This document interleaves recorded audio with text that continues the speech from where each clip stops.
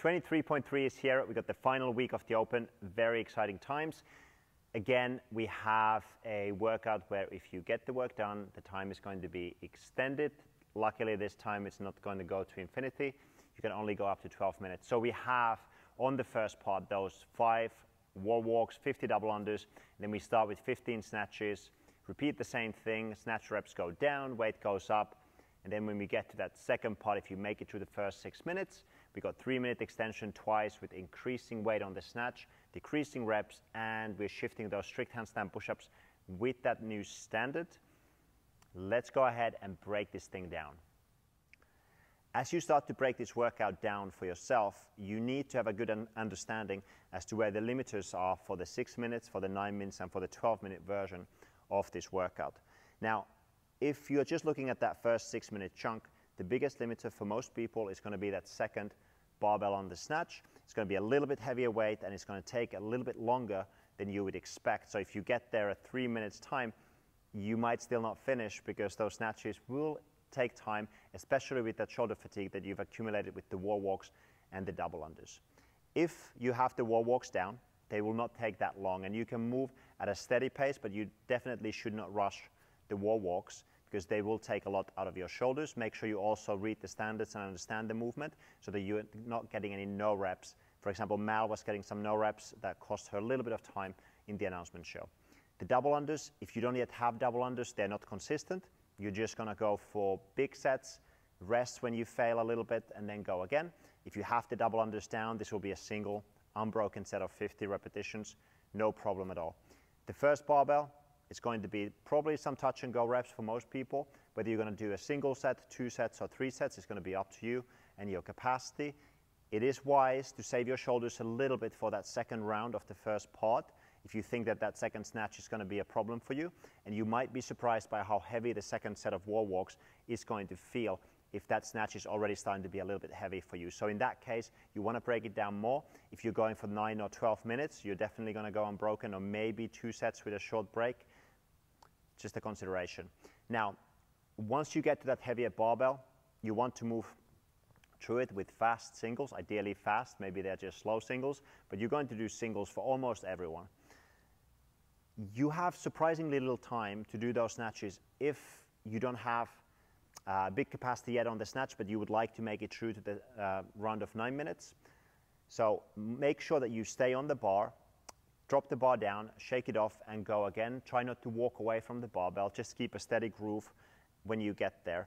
You do not need to do touch and go reps to get a good score in this. Uh, we saw that Danielle Brandon was almost as fast as Mal on this round, even though it's a little bit slower, but she maybe has also a little bit less capacity on the snatch than Mal has. So most people just do singles on that second barbell as well, but try to move fast. Now, if you make it through and you get to that nine minutes, the biggest limiter in this workout overall is going to be that handstand push-up. It will take a significant amount of time. Just go and check out the announcement show analysis that we have and the breakdown. You'll see how long the handstand push-ups take. They're a significant chunk of this workout, even on the heavier rounds of the snatch as well. Um, for most people, you're not going to do as well as Mal. So she did some big sets in there, about 12 and then 5 and three on the first round, it's very unlikely that you'll be able to do that. And for most people, the best strategy is to do maybe a set of two or three to start off with, and then move on to sets of two or even singles, or even start with singles from the beginning. The handstand push-ups will be hard with that new standard. Make sure you understand it and practice it before you go, but you're going to be quite close to the wall. And especially if you're a taller athlete, it is going to be hard to stick to this standard. So Make sure you've practiced. Don't be surprised that they feel heavy and hard. And yes, be willing to do small sets, even singles. Just kick down, kick back up. They will take the time they will take, but as long as you don't go to failure and you can keep doing work, you can get through those handstand push-ups.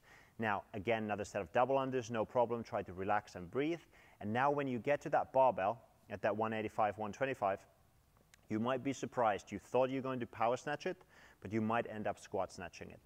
And if you think that that is a possibility, it is a great idea to, on the, one, uh, the lighter barbell, to do one squat snatch at the end, just to get your body used to it.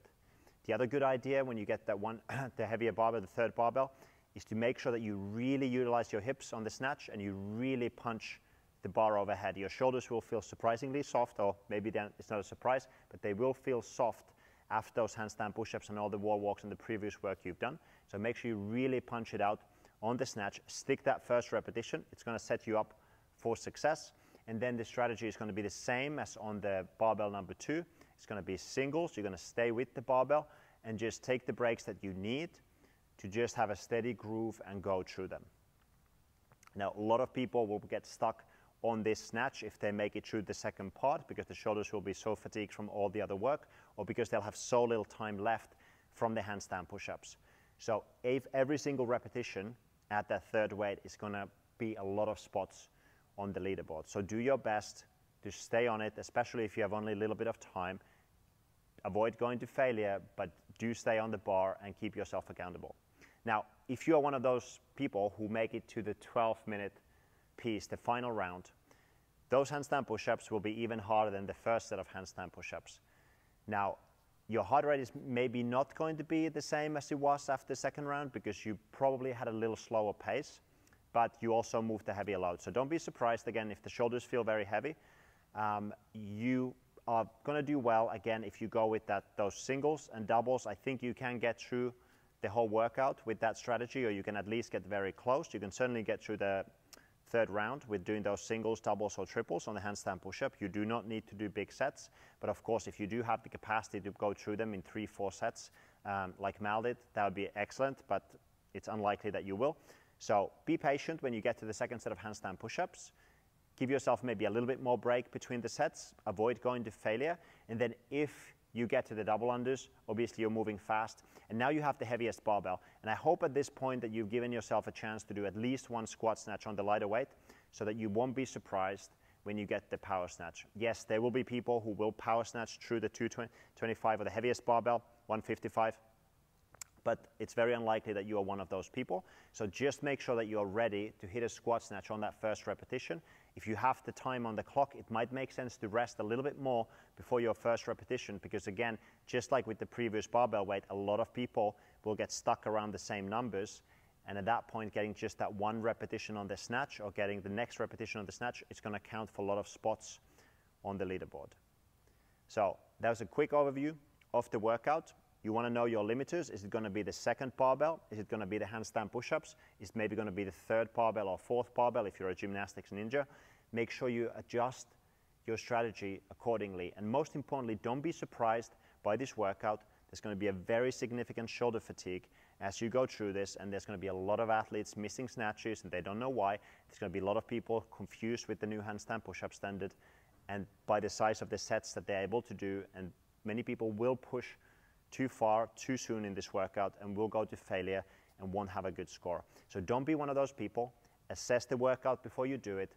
Practice the movement standards. Make sure you understand them. Be prepared for the worst case scenario where your shoulders are blown up. And the preparation for that is to have the plan and approach this with small enough sets and with enough patience that you can get as far as your potential allows you to. It's the last week of the Open. It's a good one. Good luck.